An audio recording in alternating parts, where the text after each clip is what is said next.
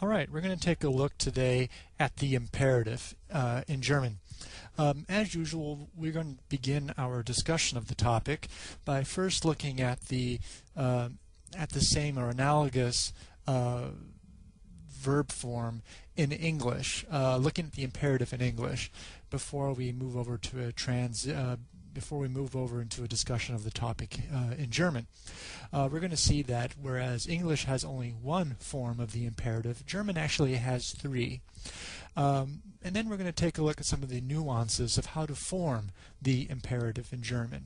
So, uh, beginning first with the uh, an examination of English, uh, the imperative in English uh, we look at a simple English statement. I say it's a statement in the sense that I'm, I'm, uh, I'm stating a fact. I'm not commanding anything. I'm not raising a question. So you take the car. We have the subject in the first position, the verb take, uh, second position, followed by the direct object. Now, when I want to make a command, when I want to form an imperative in English, what I do is I drop off the subject, as we see in this slide right here. I drop off the subject you, and uh, I start the sentence off with the verb, take the car. Now, we'll do sort of the same thing in German. Normally in German, uh, two out of the three times, we will, uh, actually, all of the times, we will start the, start the uh, imperative sentence, the command, with the verb. So in this way, German is very similar to English. However, uh, that's sort of where the similarities break down. Uh, now, when I say this sentence, take the car in English, I could be referring to my best friend, uh, my roommate, uh, someone who is an authority figure, or I could be referring to a group of people. Uh, three different situations, I use the same statement or same command, take the car. German, however, is going to distinguish those three different situations. essentially, we're going to find out that German has uh, three forms of the imperative. One, which is the formal form of the imperative, when I refer to a person in, authority or a person that I want to show respect for. Whenever I'd use the whenever I'd use the pronoun Sie, I will use a specific type of formal imperative. However, when I uh, use an informal singular, for instance, your roommate, uh, person that you know, you feel comfortable with, uh, you use du. Um, I'll use a different type of command form. And finally, when I refer to a group of people, I will use the informal plural form. So three different forms. So let's look at the most simplest one first, and that's actually going to be the formal. So again, we'll start off with a formal statement, and which is based on the English sentence that we looked at the beginning of this presentation. Uh, take the car, or you take the car. Sie nehmen das Auto. You take the car. Subject, uh, verb, and the direct object. Now notice that the verb is in the infinitive form. Actually, it's the uh, it's the formal form that uh, agrees with the subject of the sentence. Sie. Sie nehmen das Auto. Um, now, when I want to make a uh, command out of this, when I want to make it into imperative, I do essentially what the same thing I did in English, which is I take the take the verb, put it the, at the very beginning of the sentence. However, I'm not going to drop the pronoun. Sie is going to remain there. Um, and then I follow that up by the direct object. So essentially, the uh, the verb comes in the first position, the subject, the, the pronoun, comes in the second position. So the, the pronoun and the verb simply swap positions, and the direct object stays in the same place. Nehmen Sie das Auto. Now, so essentially, whenever I make a formal command, I'm just going to switch the pronoun and the verb, and the verb stays in the exact same form, which is the infinitive form, nehmen. Now, let's look at the same sentence in a uh, du or informal uh, command. Du nimmst das Auto. Um, again, subject first position, verb second position, and followed by the direct object third position. Now, nehmen, you'll recall, is a strong verb, so there's going to be a uh, stem vowel change.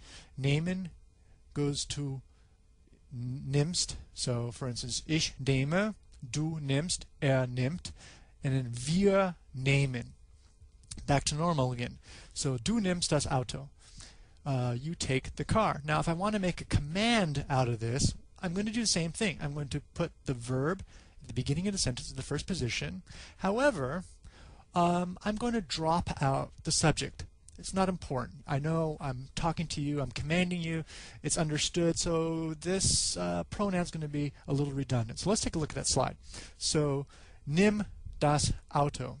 So, essentially, when we make a informal command, what we're going to do is we're going to put the verb in the first position.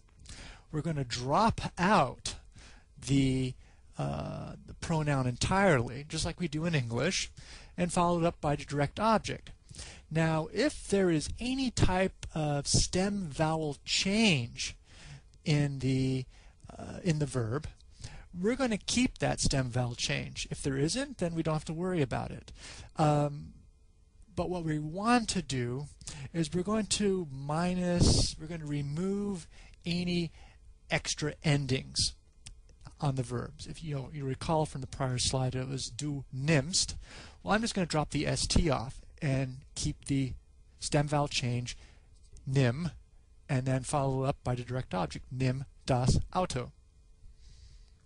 Now, nehmen doesn't have umlauts. Uh, certain verbs, of course, do.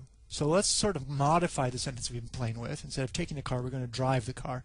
Du fährst das Auto. Again, subject, verb, direct object in accusative case. Now, what I want to do is I'm going to drop out the subject, remove the remove the personal pronoun du. I'm going to take fährst, uh, kick to the beginning of the sentence in the first position and followed up by the direct object das Auto. However, what you're going to see is that I've actually removed the umlauts. Um, I've removed the st ending, but also the umlauts. So instead of fähr das Auto, it's simply fahr das Auto. So whenever I use a verb that takes umlauts, has a, a stem vowel change, stem vowel change that takes umlauts, and I want to make a command out of it, I'm going to drop the pronoun. I'm going to put the verb at the beginning of the sentence in the second person form, drop the st ending off, and also the umlauts. Fairly simple. Now, finally, the third form is going to be the informal for plural. So if you're referring to a group of people that are your friends. Uh, the regular sentence, uh, the statement, is Ihr fahrt das Auto. Y'all drive the car. Um, essentially, again, sort of the same thing that we did in the prior two examples, or prior three examples, we're going to do here.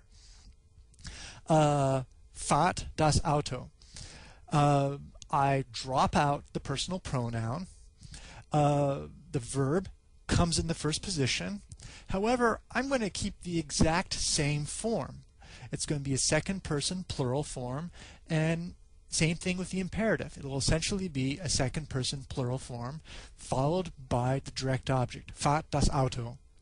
Now, I've occasionally also seen fahrt ihr das Auto. They still retain the uh, personal pronoun, but that usually only happens in the uh, informal plural.